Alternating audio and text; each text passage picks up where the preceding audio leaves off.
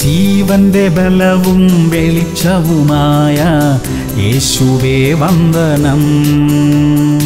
ഉറപ്പുള്ള പാറയും കോട്ടയുമായ യേശുവേ വന്ദനം.